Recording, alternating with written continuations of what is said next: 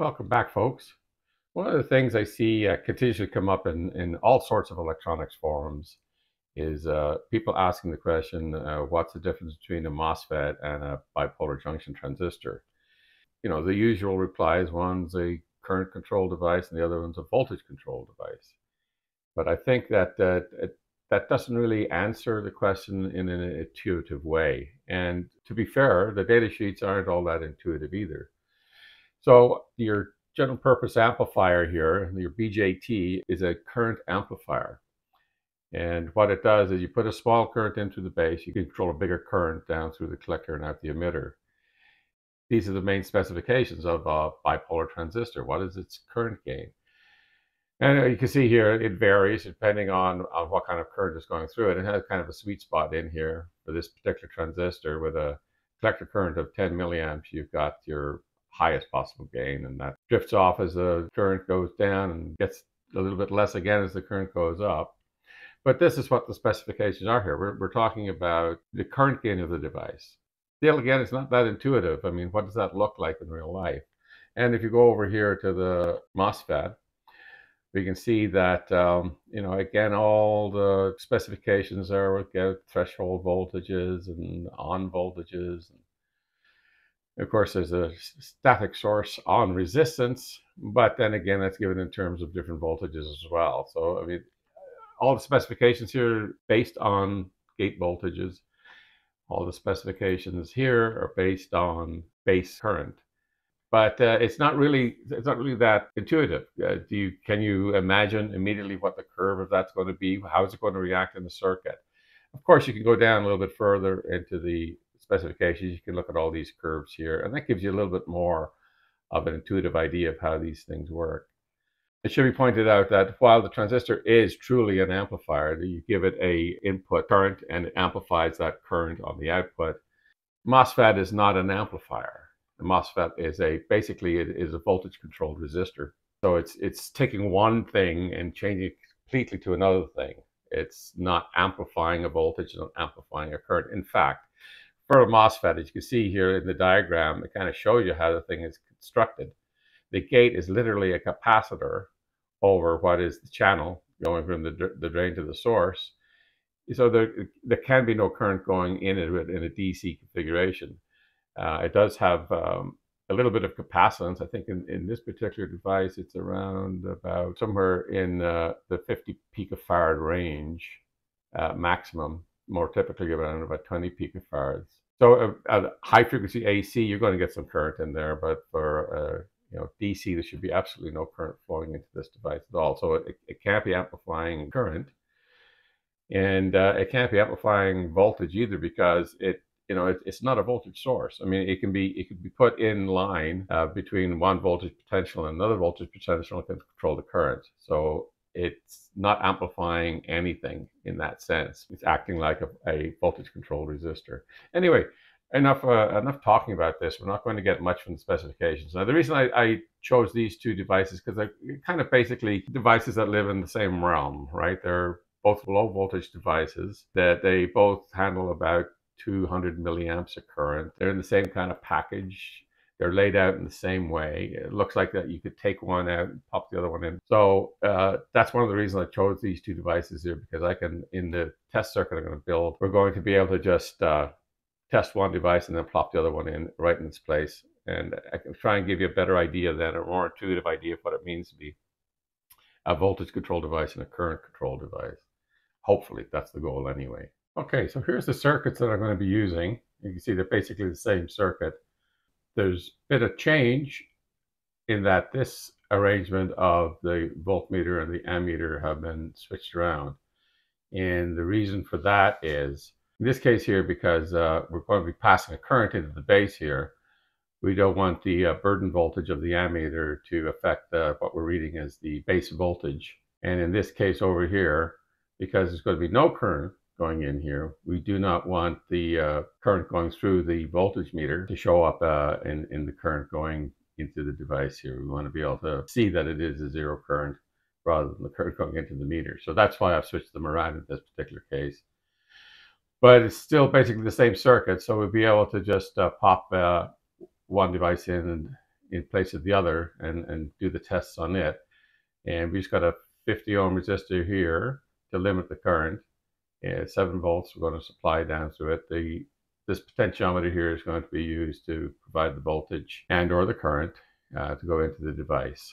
Without further ado, let's go down to the lab and uh, we'll start looking at these two different devices and how they behave. Okay, so here we are. We're all set up here. I hope you can see this meter properly. Sometimes it gets a little reflection from one of the lights off it up there. I try to angle it back a little bit. Anyway, let's uh, let's have a look here what we've got. So we've got the potentiometer here. We're we're feeding that into our. In this case, we've got the BJT in here. So this will be our base current, and this will be our base voltage. And just so we showed on the schematic, we have the, the base voltage we're reading after the ammeter here, so we can get exactly the voltage that is across the base. And this is going to measure the collector current here through this uh, effectively 50 ohm resistor here. Well, actually 55 ohms. I got four 220 ohm resistors in parallel just to give me a little bit more power dissipation capability. But uh, so let's start turning this up. So what do we expect? Well, we know that a BJT has a junction between the base and the emitter. And so we should see the thing starting to conduct around about half a volt or so, maybe a little bit more than that. And that's when the current will start to flow. So the voltage should rise quite nicely until we get to that point. And then as the current starts flowing, the voltage shouldn't rise that much, but the current should go up going into the base. And by the same token, the current through the collector should rise. And let's see what, if that's what happens. Here we go, here, 0.2 volts, 0.3 volts, 4 volts. We're getting a tiny little bit of uh, 36 microamps of, of electric current. 1.9 nanoamps of uh, base current here at 5.55 volts. At 0.6 volts, we got one microamp going into it and uh, 363 microamps down through the collector. Let's bring that up to 10 microamps.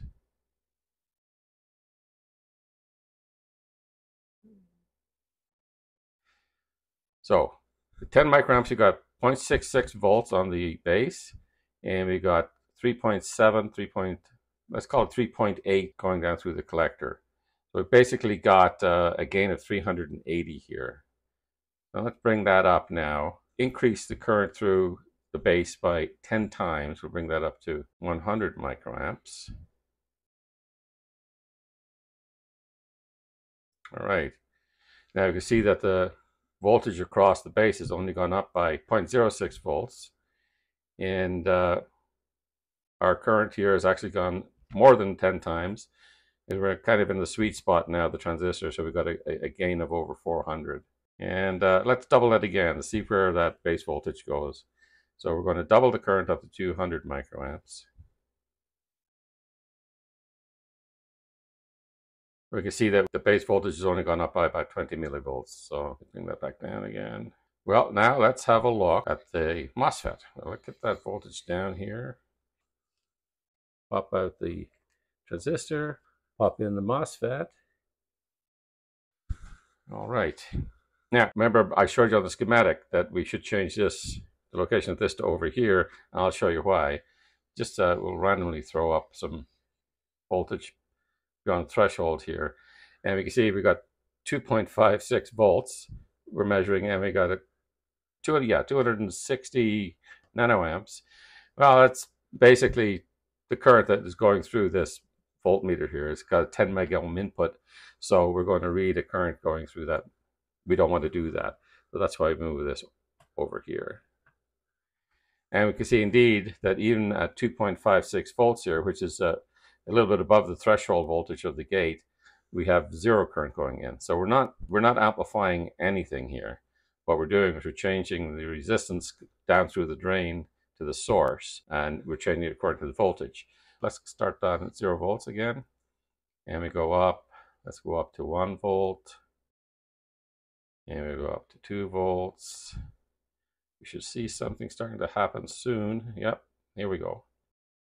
So 2.5, we need a gate voltage of 2.5. So that's, that's roughly the threshold voltage right there.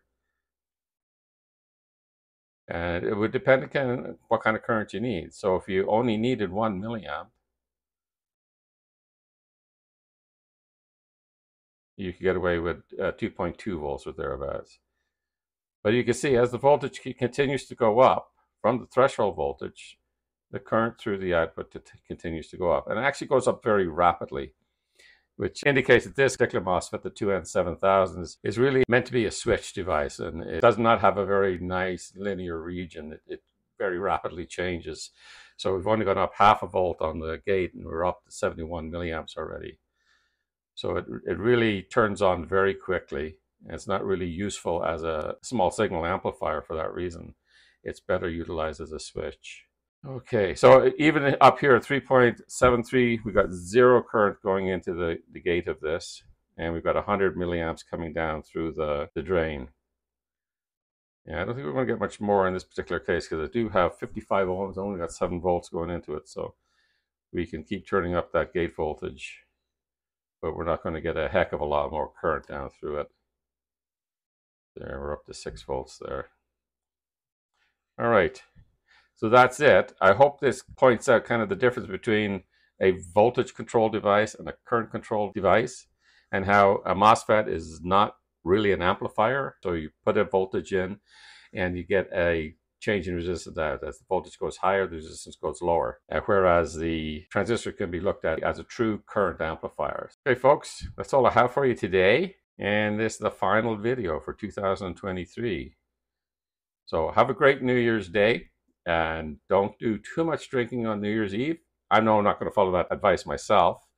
We'll see you in the new year. In the meantime, try to get some electronics done. Bye bye now.